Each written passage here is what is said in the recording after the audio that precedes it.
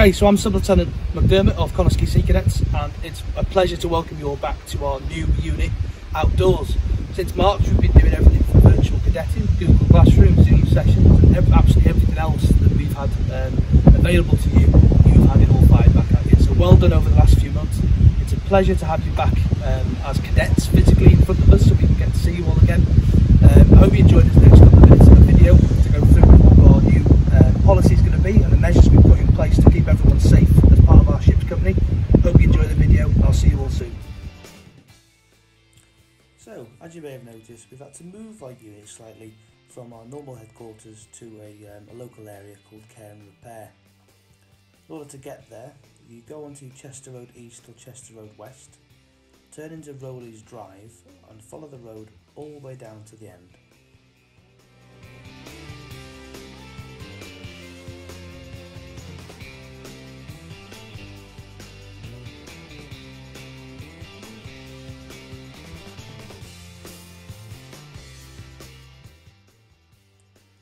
The end, turn left into the gate and follow it all the way down to the end. Once you get down to the end, a member of staff will tell you what you need to do and where you can park.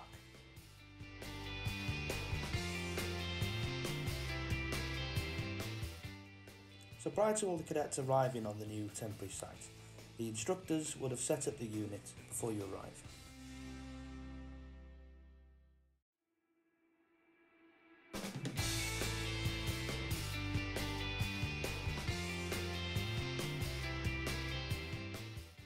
So let's take a walk onto the site now and show you where the new outdoor unit is going to be.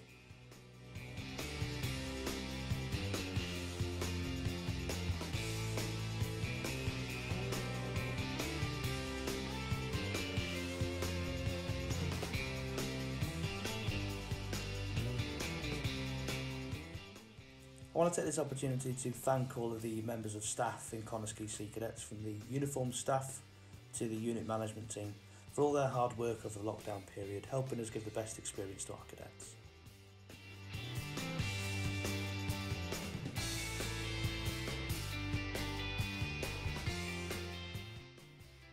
As you can see from the picture, this is the format of our new outdoor unit. The field's been split up into four different parts. These are to help us manage the bubbles, and they're from A, B, C and D. Each area has been coned off with the gazebo in prime place right in the middle. You can see that the car parking is directly in front of the, the area. You can see two tabled areas directly in between the car park and the new unit site. Clearly marked with hand sanitizer and signing in, but we'll talk about that in a minute.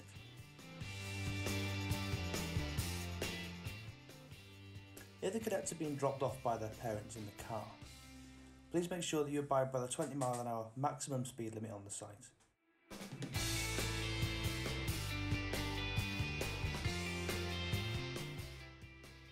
When you come into the car park, if there's a queue of traffic in front of you, please let the vehicle at the front allow their cadet to exit their vehicle first to avoid congestion.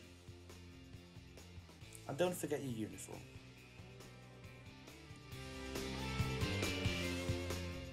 Oh, or your beret. When you arrive at the site, please stand next to a cone to queue up with your other cadets. There are two tabled areas. The first table is for signing in.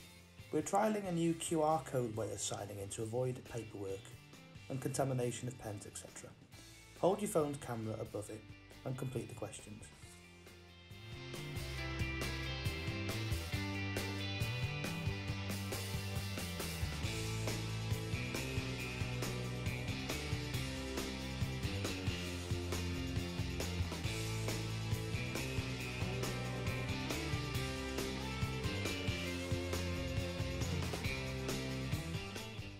If you've forgotten your phone or don't have a phone with a camera that works with the QR, just tell the instructor and they will answer the questions for you.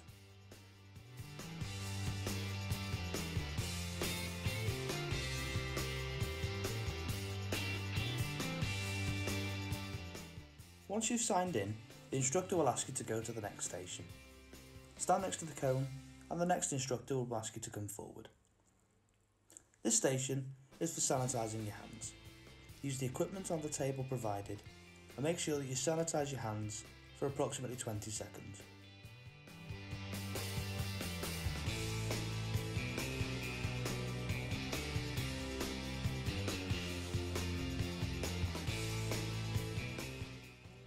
Once you've sanitised your hands, the next stage is to go into your designated training area. A member of staff will tell you what area you are in for that night.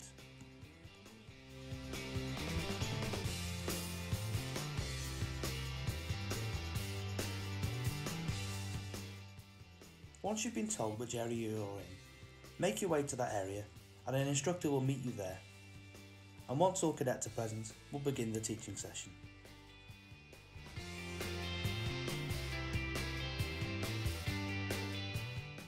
We're not taking cash at the moment for subs, so you'll need to collect a form from a member of staff so you can start up your standing order again. Please make sure that the sum of £16 is, is given to the unit on the 5th of every month, starting in October.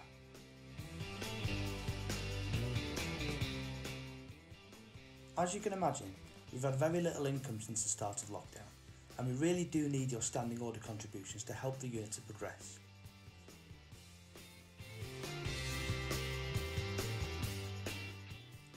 Most of you should be able to restart your standing order using online banking. But if you can't do this and you're having any difficulties, please contact the Unit Treasurer, Debbie Restall, on the number given to you on the form.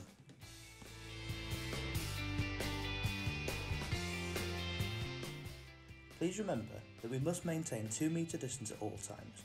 That means no shaking hands, but we can touch elbows to greet each other. Members of staff will be making sure that we maintain 2 metre distances at all times.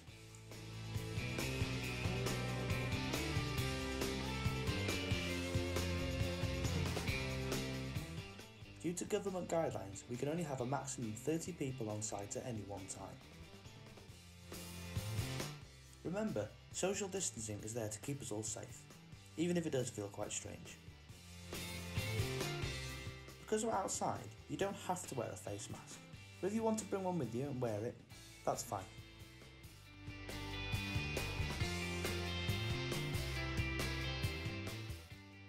We have access to toilet facilities inside the main building. If you enter the building to use these facilities, you'll have to wear a face mask, so please bring one with you. You can even make your own at home. A member of staff will show you where the heads are inside the main building. We will be operating on a one in, one out basis, so please ask a member of staff if the heads are in use before making your way to the building.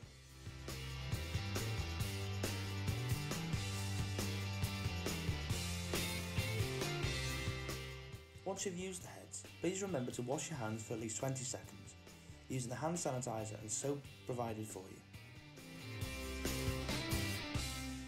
Once you've washed your hands, make sure that you use the spray provided to wipe down any hard surfaces you come in contact with, especially the taps, the doors and door handles, and anything you may have used when in the toilet cubicle itself. Anything hard that someone else may touch when they go in the heads after you.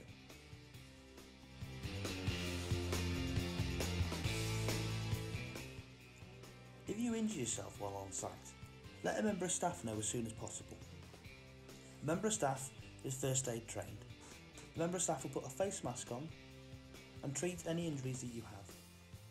And if required, we will phone the hospital for advice or even an ambulance.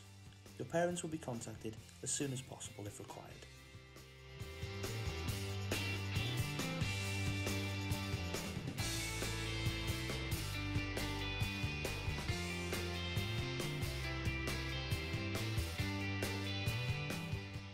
Make sure that you're on your best behaviour while on the site. Do the Sea Cadets yourself and our unit proud. Members of staff will make sure that you're abiding by all the rules that we normally abide by within the unit. Anyone caught not abiding by these rules will be asked to leave and their parents will be contacted. Make sure you bring waterproof clothing with you in case it starts to rain. If you haven't got issued uniformed wet weather gear, then just wear a civilian jacket, that's fine for now.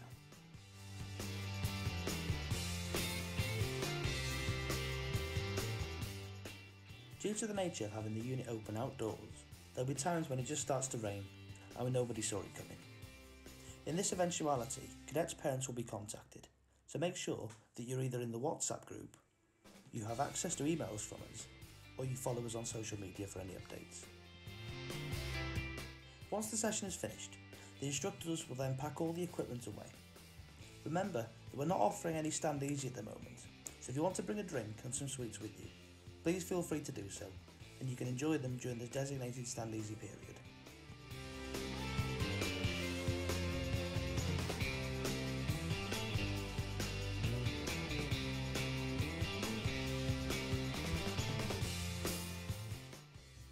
As well as being packed away, all the equipment and PPE used throughout that session will be then cleaned thoroughly by staff.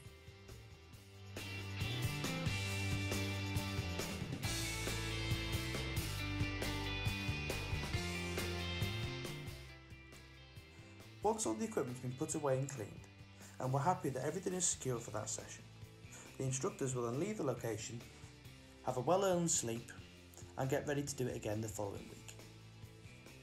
If you have any questions about what's been mentioned in this video, please contact the Facebook page or contact me directly and I'll be more than happy to answer any questions that you ask. All these measures are put in, put in place to make sure that every cadet, visitor, parent, member of staff or any member of the Sea Cadets or the public are safe while they are under our care. Thank you for watching and I'll see you all very soon.